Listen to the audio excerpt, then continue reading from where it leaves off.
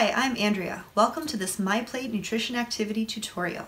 Let's check out food group decoders. In order to get to those, we will go to the MyPlate Nutrition Education Resources page.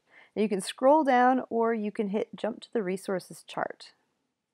So we will first look at level one food group decoders and we'll start by clicking the Google Slides.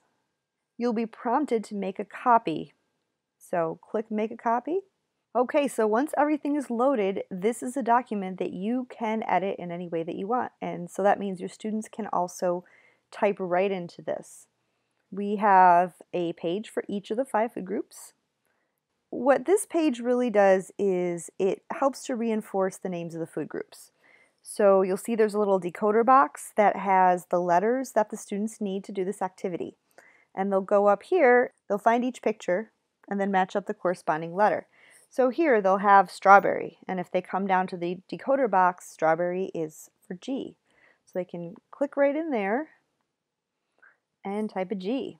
Then they can go to the next letter, or the next picture, which is a pepper, and that represents an R. So they can type the R and go through.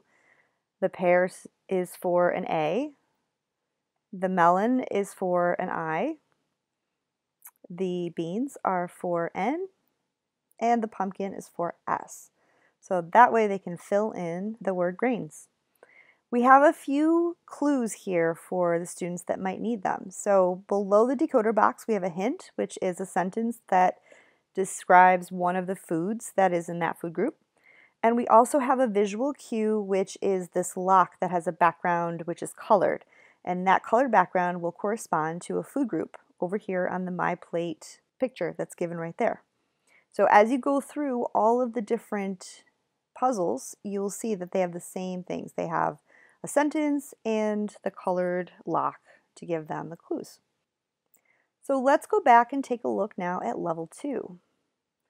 If you come here, level two, Google Slides, we'll do the same thing. Click on that and you'll be asked to make a copy.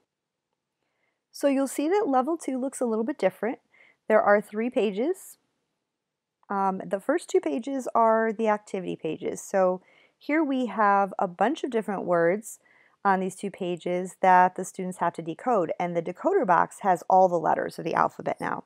And you also will not see those hints and clues for the students. Um, so hopefully at this point, they'll be able to just go through and find the strawberry here. That's the G for grains, um, and go through, again, all of the words. In addition to the food groups, we have some other words. Um, and let's just look at page three so we can see what those words are. Because page three gives a different kind of clue. We have a glossary for the words that we are trying to have the kids decode. In addition to dairy, fruits, grains, protein, and vegetables, we also have food group and identify and MyPlate. Thank you for watching this Nutrition from the Hart video. Please like and subscribe to see more.